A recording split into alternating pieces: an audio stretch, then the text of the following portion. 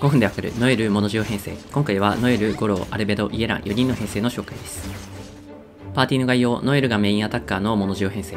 ゴロで岩ダメージを全体強化し、オンフィールドノエルのメインアタッカーダメージと、アルベド追撃のサブ DPS を強化します。イエランも通常メインのノエルと組み合わせて追撃サブ DPS、およびヨダメージバフ効果でノエルをサポートします。岩共鳴効果も活かし、火力はそこそこになります。ただし最強火力というわけにはなりませんが、なんといっても使い勝手の良さが魅力。ノエルスキルのシールドはもちろん、イエランと組み合わせた結晶化反応でのシールド強化、ノエル爆発からの通常での常時回復効果も相まって、回避無視で戦いたいように戦えるおすすめキャラだと思います。ノエルは積差、ケントシオン、アタッカービルド。ゴローは西風絶縁火火バフ特化ビルド。アルベドはシナバー火火イオンサバータビルド。イエランは弱水絶縁イオンサバータビルドです。各キャラ、ノエルは各種バフでバフを受け取り、爆発からの通常攻撃で火力を出すオンフィールドアタッカー。アタッカーノエルなどで貫突は必要だと思います。防御が火力に直結するため、ゴローバフも最大限活用できます。ノエルはスキルでの粒子生成がないため、アルベド、ゴローなどとの粒子共有でしっかりとチャージを稼ぐのが重要。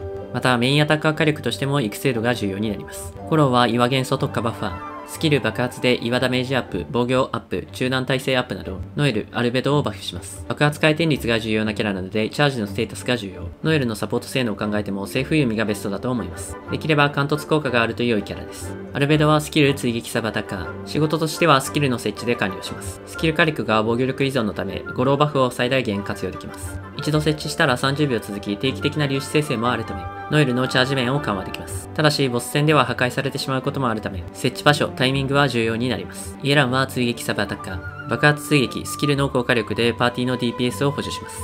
高速水付着で結晶化反応でパーティーの安定感もサポートします。ヨダメージバフ効果もあるため、ノエルの火力をさらに強化。爆発回転率が重要なため、自身チャージ効率はしっかりと確保します。これを踏まえローテの参考。まず、ゴローのスキル設置、アルベドのスキルを設置して追撃環境を準備。爆発を打ってからイエランに切り替え、スキル爆発。高火力の水追撃を準備。ゴローでスキル爆発でバフ環境を再度準備。あとはノエルに切り替え、スキルでシールドを貼りながら爆発通常で叩いていきます。ノエルの爆発継続は15秒。控えに一度戻っても継続しているため、途中でゴロー、アルベドのスキルを貼り直したり、イエランで粒子回収したりと、割とローテーションに縛られなくても OK です。最後にこの編成で今期の螺旋12層を攻略します。よければチャンネル登録、高評価もよろしくお願いします。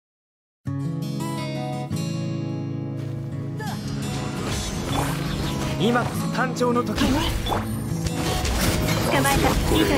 工作せよ俺につけ火の風格に気をつけますはっはっ助けがはっ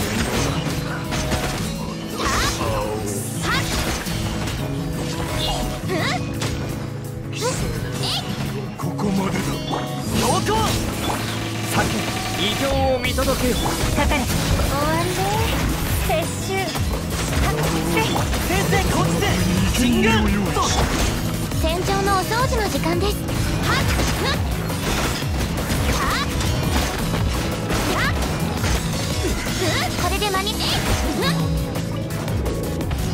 行かかれそうはっ。やっ。た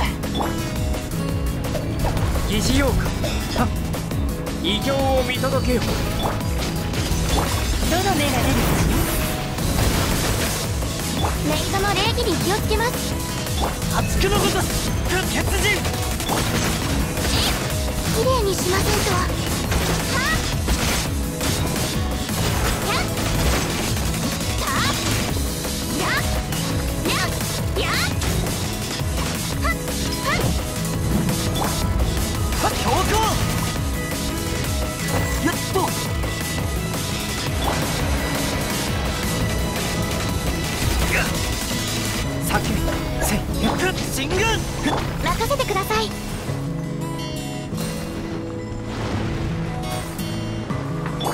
冥王形成。疑似妖怪。せたと強行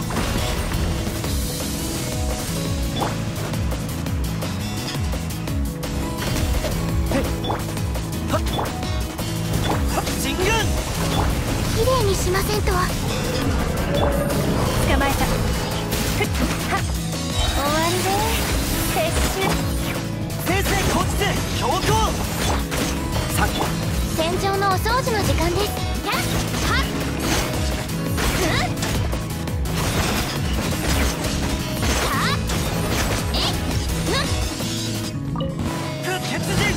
ったよう捕まえたやっ？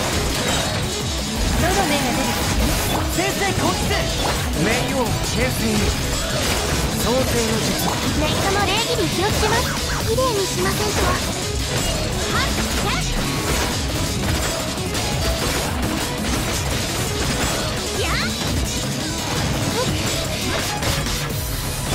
だ神軍。疑似今誕生の時。かかれ。そう。発苦のごとすと血終わりで摂取岩の重さは安心できます。死の風格に気をつけます